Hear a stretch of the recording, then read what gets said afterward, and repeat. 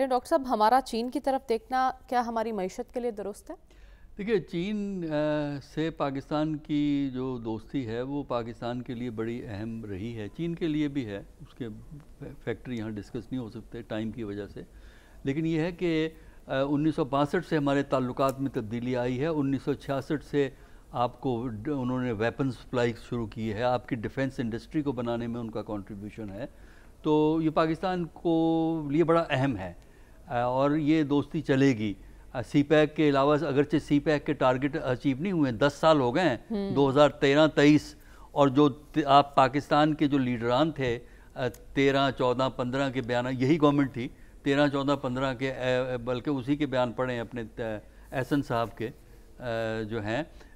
तो तेरह चौदह पंद्रह में जो टारगेट फिट किए थे वो अब दस साल में मुकम्मल नहीं हुए लेकिन फिर भी अच्छा काम हुआ है। जो कमी है जो खराबी है वो ये है कि हम सिर्फ़ डिपेंडेंस पे बिलीव करते हैं हम्म। चाहे अमेरिका पे डिपेंड करें चाइना पे डिपेंड करें हम अपने ऊपर डिपेंड करने के आदि नहीं रहे हैं और ये सबसे बड़ी ख़राबी है पाकिस्तान की आ, कहना चाहिए अब अब इंटरनेशनल अप्रोच में कोई ऐसा सहारा मिल जाए जो हमें संभाल के रखे हम्म। हम पे छतरी ताने रखे इकतसादियात की चीन से ताल्लुकात कायम रखें बड़ा सियासत बैन अवी सियासत के लिए ज़रूरी है ये फ्यूचर की पावर है लेकिन उसके साथ साथ अपनी हैसियत को बेहतर करने के लिए अपने पाँव पे खड़ा होना भी सीखे। ठीक है। चीन से सबक लेकर जब तक पाकिस्तान की इकतसादियात अपने पाँव पे खड़ी नहीं होती ठीक है। चीन की मदद जो है वो हमारा ज़्यादा बेहतरी नहीं कर सकती। ठीक है आप भी कह रहे हैं कि खुद इन्हसारी पर ज़्यादा तोज्जो दी जाए।